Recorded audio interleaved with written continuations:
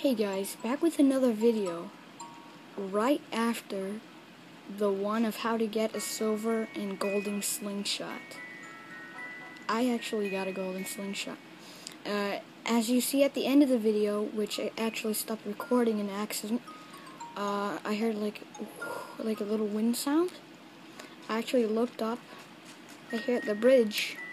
It was actually a, a golden toolbox with three golden balloons, as I said. And here it is. Here's the golden, uh, golden slingshot. Shoots three little balls or rocks, like I said. So that's actually pretty cool. It's a shame I didn't get any tape, uh, but that's the luck. Man, it would have been even better if I would have gotten on tape. It was really cool. So if it's kind of easy to get. Uh, it took me a long time to get it, uh, the silver one. Uh, but, uh, yeah, it's not too hard. If you play a lot, you'll find it once, and then you'll find it over and over and over again, just like the golden one.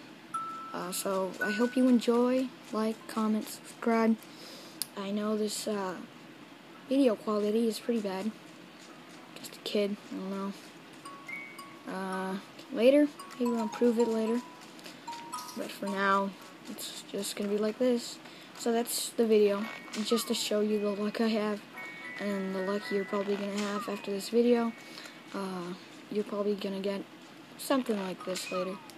The silver is actually pretty easy, but the golden, right after you get the silver, you have more luck with that. So, bye guys. Yeah. Awkward.